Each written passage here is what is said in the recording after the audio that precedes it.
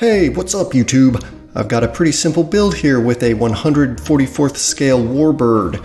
It's a really small plane, and for that reason, I think it's actually a bit more challenging than something a bit larger in 72nd scale.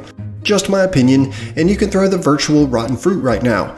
At some point, things get so small they get more difficult, but that didn't stop me from getting the photo etch set. Due to the lack of a cockpit in the base kit, it's really necessary if you want to show off the interior.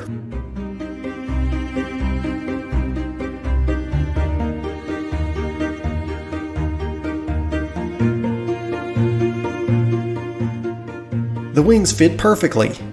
Not. In this case, I taped the halves together and applied extra thin cement around the edges with some thicker cement in between them. I forced the plastic to melt together.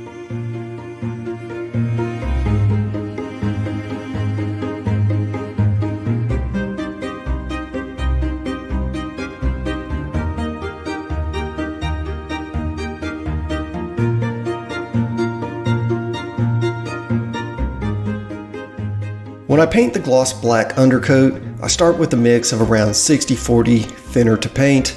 I finish it off with a mix that's somewhere around 80% Mr. Leveling Thinner. That gives it the really wet look, and as the name suggests, levels it out and makes it shiny and smooth. But not shiny and smooth enough for me. I do some really light wet sanding with water using micromesh sanding cloths. I also use these same sanding cloths after spraying the coats of aluminum. With Alclad, it's hard to see the progress of painting since there's so many thin coats that you build up. I find it's more fun to focus on peeling the tape off, which reveals the contrast between the shades.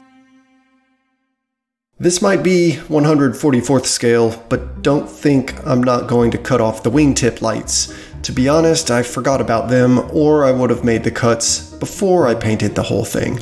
In the end, I used clear epoxy over a dot of red or green to make the lights. I used a cutout to help with the modeling and pre-shading for the olive drab section of the aircraft.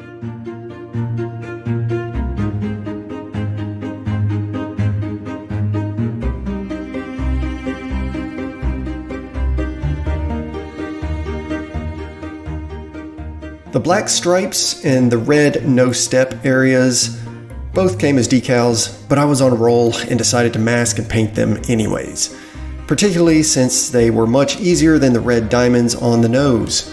For those, I used tape over plastic card to punch out circular masks, then cut the circles in half and arranged them to form diamonds. With my punch and die set, I've used it way more times to make paint masks for anything with small circles than I have to make pieces that I actually attach to the models.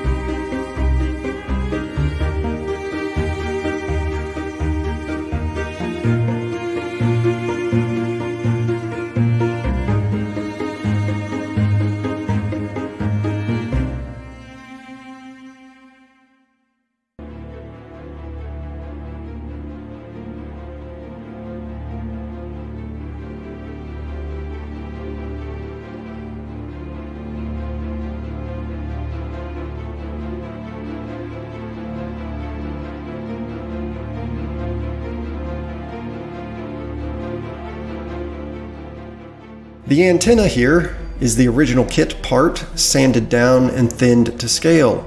The control stick is not part of the kit, so I made it from stretched sprue. The kit only comes with the option for a closed canopy, which was a problem for me based on the cockpit photo etch I used. I didn't spend $15 on it to have it be invisible at the end. I used a JLC razor saw to cut the canopy into two parts so I could show it open. If you're wondering about the base, it's just a couple colors of Woodland Scenics fine turf sprinkled on top of a plain wood base that I bought at Michael's, aka my local art store. Aside from the disastrous wing molding, the kit was quite an enjoyable build. Frankly, if it's not an enjoyable build, you probably won't ever see it, because it won't make it far enough for a video. Ask me about the MD11 I've been working on and off for a few years now. That's all I've got today, so see you on the next build.